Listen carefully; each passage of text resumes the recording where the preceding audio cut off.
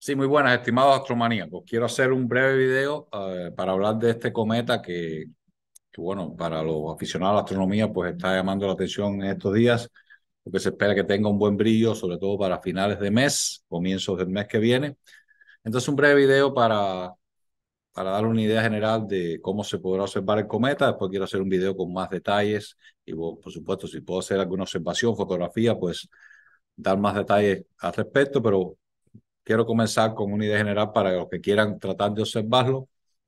El cometa es el C222E3 ZTF. Eh, es un cometa que se descubrió recientemente, eh, que quizás sea visible a simple vista a finales de mes, comienzo del mes de enero, eh, perdón, comienzo del mes de febrero, pero ya es visible con telescopios medianos, incluso telescopios pequeños de lugares eh, apartado e incluso si no se logra observar a simple vista a finales de este mes, comienzo del primer del mes que viene, será fácilmente visible con pequeños telescopios, binoculares, o sea, pequeños instrumentos. En caso de que, como sabemos, los cometas pues son un poco impredecibles y a veces quedan por debajo de las expectativas, a veces por suerte por encima de ellas, pero se cree que se puede observar a simple vista de lugares oscuros o si no, repito, se va a observar eh, con seguridad con pequeños telescopios y, prismáticos.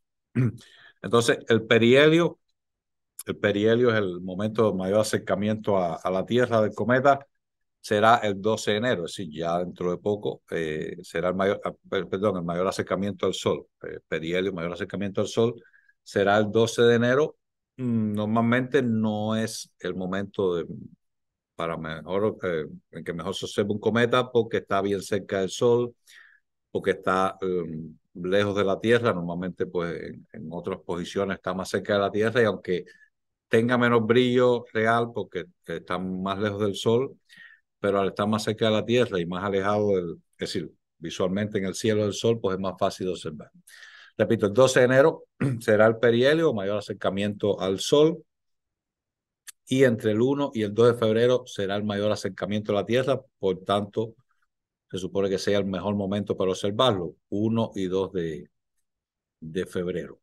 Ahora, ¿qué pasa con, con esto? Eh, el 1 y 2 de febrero ya la luna va a estar interfiriendo un poco en, eh, para observarlo, así que quizás los mejores momentos sean cerca del 21 de enero, porque el 21 de enero la luna eh, está en luna nueva, es decir, no hay luna en el cielo que pueda interferir con la observación del, del cometa. Ahora, este eh, cometa ya es observable desde el hemisferio norte por la mañana, voy a mostrarle en, el estelar o acá. Primero decir que es un cometa, eh, una cosa interesante, es un cometa que tiene un periodo, según se calculó, de 50 mil años. O sea, que la última vez que fue visible fue en el Paleolítico, en la Edad de Piedra, durante la era, la última era del hielo. Por tanto, fue visible por por, los humanos, ya eran ya los humanos, es decir, ya la raza humana habitaba la Tierra, los Homo sapiens sapiens, también por los últimos neandertales, es posible que algún neandertal haya observado el cometa y algunas otras eh, especies humanoides que todavía existían eh, antes de haberse eh, extinguido, pues es posible que además de, de los humanos, pues neandertal y otras especies hayan observado este cometa. Es un, es un dato interesante, un poco romántico, pudiéramos decir. Eh, en esta ocasión, pues solo los humanos podremos observarlo. Entonces, como decía, está visible ya en el hemisferio norte al amanecer. Vamos a ver acá en la imagen del estelarum. Acá, ah, en la imagen del estelarum, vamos a Vamos a ver hacia el amanecer. Aquí está el cometa. Pues ya al amanecer, no, ya realmente a las dos, ¿a qué hora sale aproximadamente? Cerca de las 12 de la noche va a estar saliendo. Vamos a poner acá 12 de la noche en esta simulación. Oh, perdón, a ver, 12 de la noche.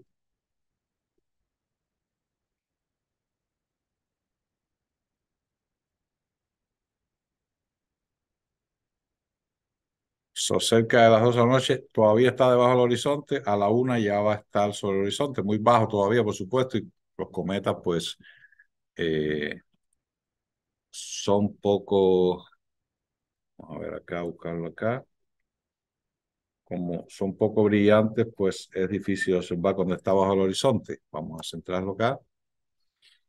Es decir, a la una aproximadamente de la mañana, desde el hemisferio norte, estaría, bueno, de los 40 grados norte que estoy yo, eh, depende de la latitud que esté cada observador, pues estaría a unos 5 grados, evidentemente todavía muy bajo, con una magnitud de unos 7, eh, magnitud 7, 7.1, o sea, es, es visible fácilmente con telescopios pequeños, medianos, desde lugares oscuros. Sabemos, los cometas tienen un bajo brillo superficial, así que se necesita un lugar oscuro con prismáticos, quizás un lugar bien oscuro con una buena vista se puede observar, pero eh, con los cometas es muy difícil. Eh, ya a las 2 de la mañana, desde los 40 grados norte, estaría 40 grados sobre el horizonte, eh, perdón, a 14 grados sobre el horizonte. A las 3 de la mañana a 24 grados, ya a las 3 de la mañana pues estaría una buena altura, unos 24 grados, a una buena altura para tratar de observarlos. O sea, todavía mm, bastante lejos, es decir, bastante alejado del amanecer, todavía con el cielo bien oscuro. 3 de la mañana, pues en estos momentos es un... Ahora, ¿qué pasa en esta fecha? La luna va a estar interfiriendo. Vamos a buscar la luna acá.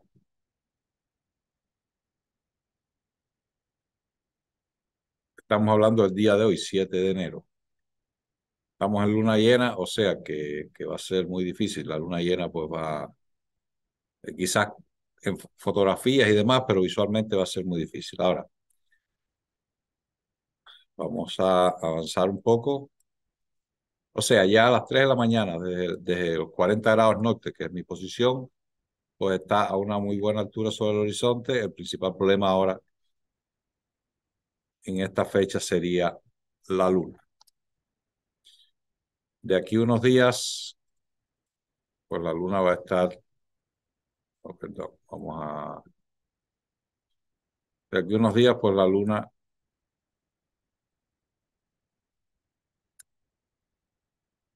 va a estar ya en una fase mm, más pequeña. Vamos a ver acá, por ejemplo, el día 15,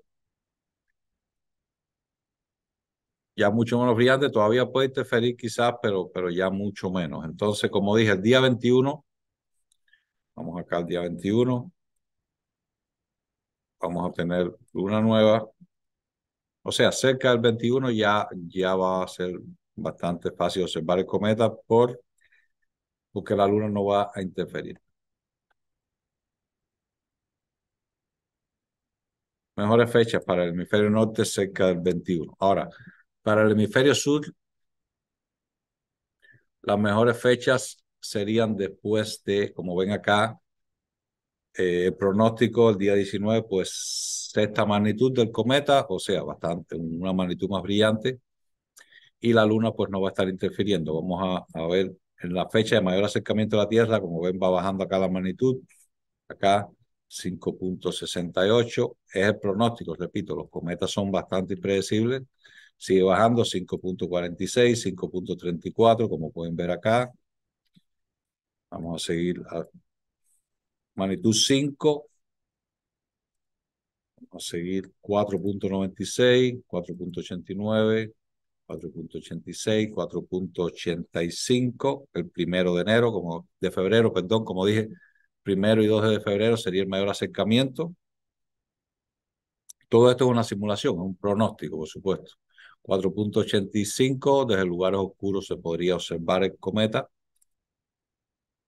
4.87, ya comienza a ascender, es decir, día 1 y 2 de febrero sería el mayor brillo, ya en esa fecha puede ser visible desde el hemisferio sur, o sea, ya sería visible desde ambos hemisferios y estaría a las 3 de la mañana pues bien alto en el horizonte, o bastante alto en el horizonte, 38 grados por lo menos de la, repito, latitud 40 norte. O sea, eh, resumiendo, eh, los mejores días para observar son cerca de finales de enero, principios de febrero, depende de su locación. Desde el hemisferio norte, pues quizás el veintitanto de, de enero sea la mejor fecha, porque la luna va a estar luna nueva o, o un menisco bien pequeño creciente y el cometa va a estar cerca del máximo brillo y máximo acercamiento a la Tierra, más alejado del, del, Sol en el cielo, digo, a mayor distancia del Sol, más grados del Sol en, en, en, la esfera celeste. Y bueno, para el hemisferio sur, a, a, principios de febrero, por el hecho de que en estas fechas todavía no es visible en el hemisferio sur.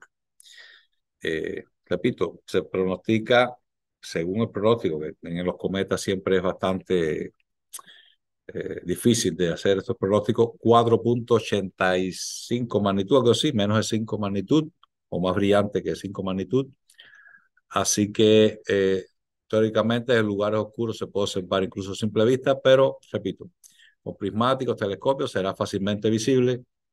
Para fotografía puede ser un buen espectáculo. Yo voy a tratar de fotografiarlo, voy a compartir las imágenes si tengo la suerte de, de fotografiarlo. Y esto, por supuesto, eh, acá saliendo por el, por el este, ¿no? Porque estamos hablando. Y acá, eh, para esta fecha, ya estaría hacia el noreste. Eh, estoy hablando ya del máximo acercamiento.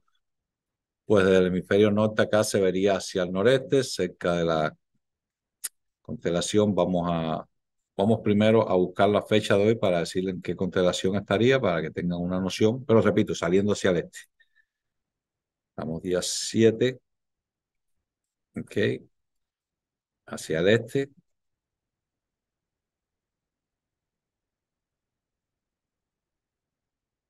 Y entonces estaría entre Hércules y la corona y el boyero acá, encima de la corona, corona boreal. Acá, entre Hércules, el boyero y la corona, en esta zona de acá. Estaría bien cerca del cúmulo M, M13 que está por acá. Cúmulo M13. Okay. Y bien cerca también de, o cerca de Arturo, la estrella Arturo. Y la estrella Gema acá en, la corona.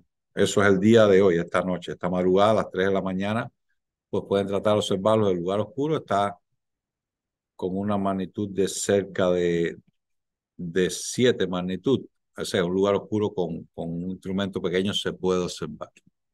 Es todo, solo un pequeño video para dar una noción general de este interesante cometa que quizás nos sorprenda con un, con un brillo por encima de lo, de lo estimado. Y más adelante pues haré otros videos con más detalles y tengo pues mis propias imágenes, etcétera, las compartiré con ustedes. Espero que lo disfruten.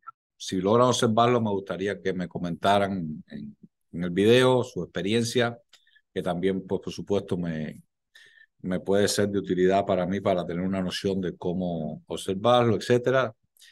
Y que tengan un excelente día, espero lo disfruten. Hasta un próximo video.